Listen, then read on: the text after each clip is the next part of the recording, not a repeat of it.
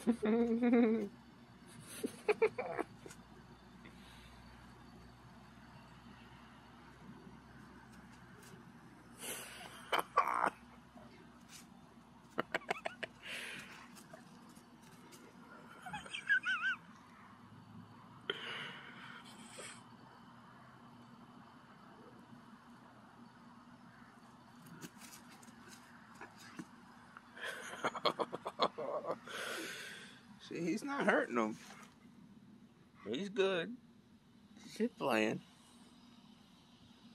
He's just playing, right, boy?